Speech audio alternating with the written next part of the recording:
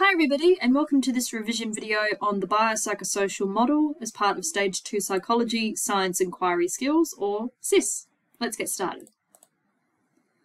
So, the biopsychosocial model states that psychological health, illness, treatments and factors are affected and or caused by the interaction between biological, psychological and social factors. So what this means is that when we're explaining health or behavior or illness or treatments, anything in psychology, we must look at three factors that go into the subject at hand. So we need to look, in other words, at the biological factors, psychological factors, and social factors that go into or could cause or explain that behavior, the health, the treatment, the illness, etc. So one approach or one perspective is not enough to fully explain behavior. It must be examined as a holistic concept. So what this means is that we need to look at all three at once. There's no point in just looking at the social factors, for example. We could be missing vital information or vital data regarding psychological factors or biological factors. So when we use the biopsychosocial model, which is what the whole stage two psychology course is built on, and we would have gone through this in year 11 psychology as well, we must look at all three factors at once.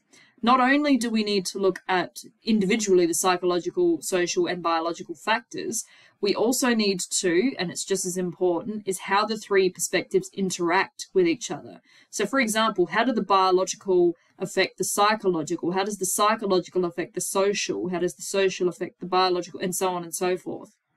So not only do we need to know what each of these actually mean, we also need to be able to explain how they interact and how they influence and impact each other when it comes to certain behaviors, illnesses, treatments, etc.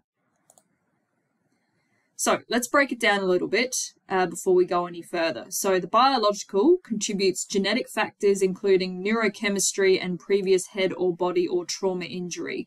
So in other words, anything that could explain psychological health or illness or behavior or well-being from a biological standpoint is obviously looking at the bio part of the model, hence bio psychosocial model, with starting with biological. So for example, uh, the greatest risk factor for developing schizophrenia is a first degree relative having the illness. So, if we're looking at someone who may have suspected schizophrenia, we must look at their family history because it may be a biological reason or factor that is contributing to them and their diagnosis. Another example is D2 dopamine receptors are more prevalent in patients with addiction compared to the rest of the population. So again, if we're looking at someone who is suspected or is showing signs and behaviors of being addicted to a particular substance, we need to look at obviously their receptors and the amount of dopamine being produced because that is a biological factor that is going into explaining their behavior.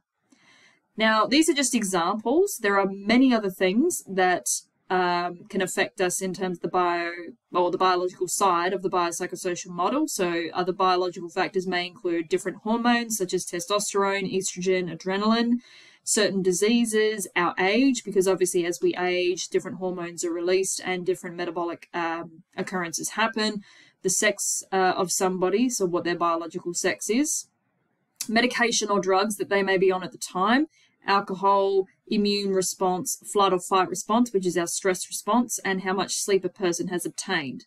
What all of these have in common is that they all affect us biologically, physically, and chemically, and can explain someone's illness, treatment, or be a factor in one or more of those areas, including behavior.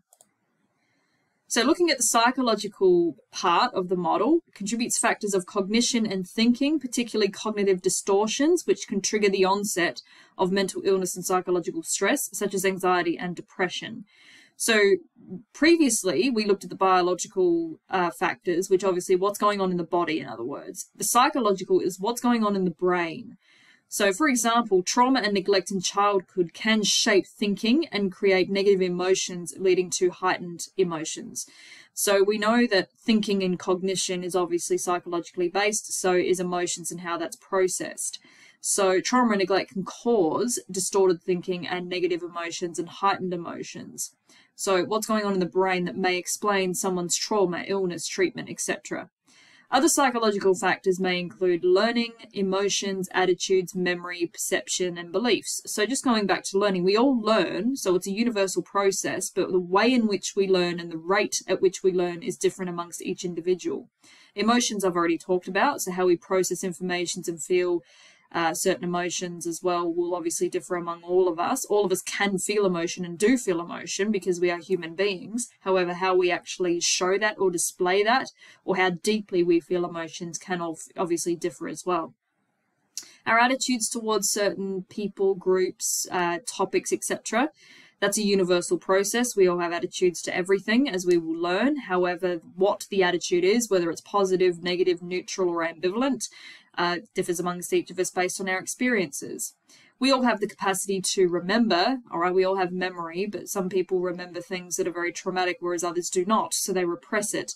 Uh, some people have a very good memory in terms of recalling information, whereas others do not. So, even though it's a universal process, it is a psychological factor that we need to take into account when explaining someone's behavior, illness, treatment, etc., as I keep saying. Same with perceptions and beliefs. Okay, so we all have the capacity to have you know perceive everything and believe um, what we want but that will obviously differ across each individual but what all of these have in common is that they are all bio- uh, psychologically based so what's going on in the brain versus the body which is biological then we have the social factors. So this contributes factors such as cultural values, religion, family, and social expectations. So many mental illnesses are heavily influenced by cultural values or the community and society.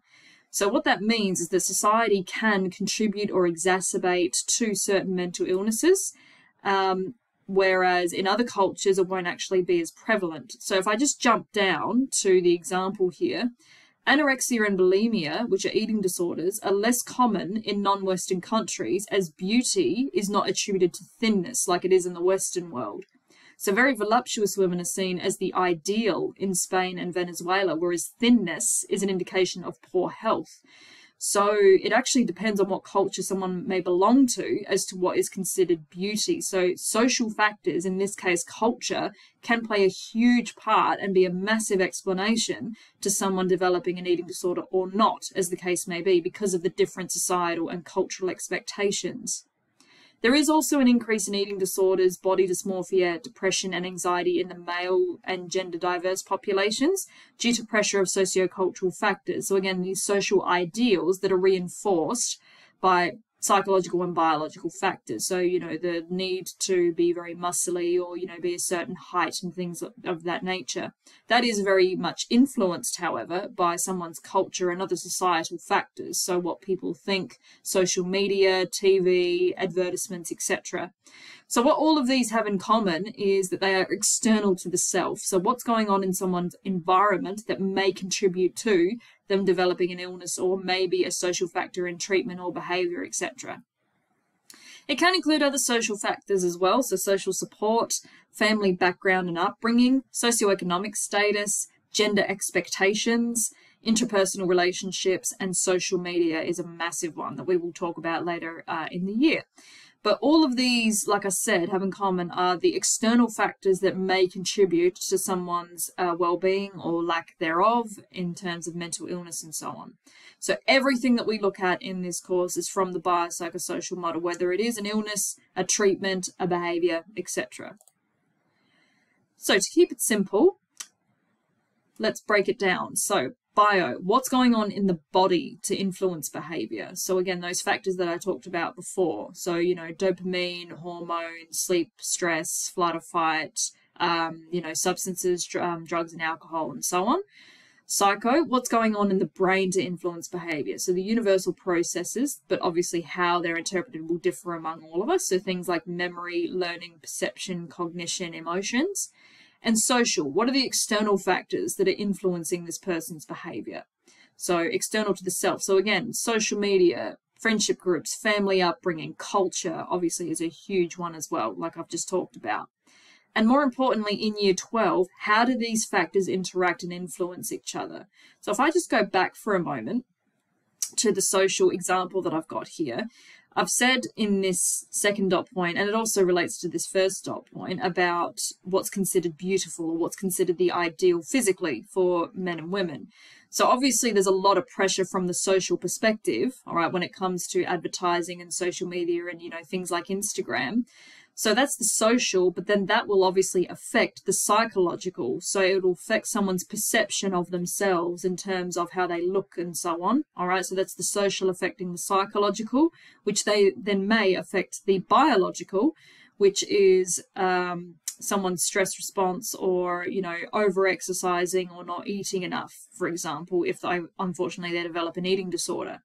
So not only do you need to know all three aspects exclusively, you must be able to then explain and analyze how they interact and how they influence each other. It won't necessarily be a case of all three interacting with each other. It might be two in particular interact with each other depending on the example that you are given in a test or an exam. But that is very important. So how, not only what they are, but how do they influence and impact each other. So I hope you found this tutorial video, this revision video useful. As always, any questions, let me know.